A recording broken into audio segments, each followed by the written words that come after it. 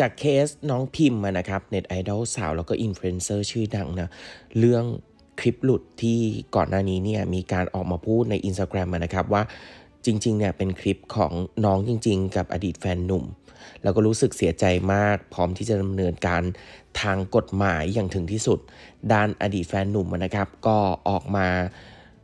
ยอมรับว่าเป็นตนจริง แล้วก็ ออกไปแจ้งความนะ พร้อมกับยืนยันความบริสุทธิ์ของตัวเอง ว่าตัวเองเนี่ยไม่ได้เป็นคนปล่อยคลิป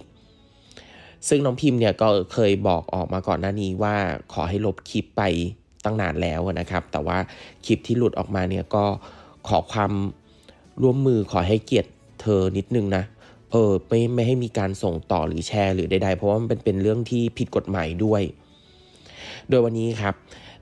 ทางน้องพิมพ์เองเนี่ยก็เดินทางไปที่บกสอทหนึ่งนะครับ ที่อาคารศูนย์ราชการ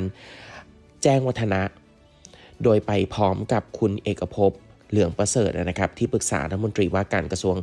มหาดไทย แล้วก็ผู้ก่อตั้งเพจสายใหม่ต้องรอดนะครับ พร้อมทีมงานทั้งหมดเนี่ยไปเป็นเพื่อนน้องนะไปช่วยเหลือน้อง อืมโดยน้องพิมพ์นะครับให้สัมภาษณ์ว่าวันที่คลิปถูกปล่อยออกมาแฟนเก่าเนี่ยก็โทรมาบอกเลย บอกว่ามันมีคลิปหลุด ตอนนั้นเนี่ยก็ยอมรับว่า 50 50อะไม่รู้ว่าจะต้องเชื่อหรือยังไงดีอะเพราะว่าแฟนเก่าก็บอกว่าไม่มีใครไปยุ่งโทรศัพท์ โทรศัพท์ไม่ได้หาย แล้วตกลงมันหลุดไปยังไง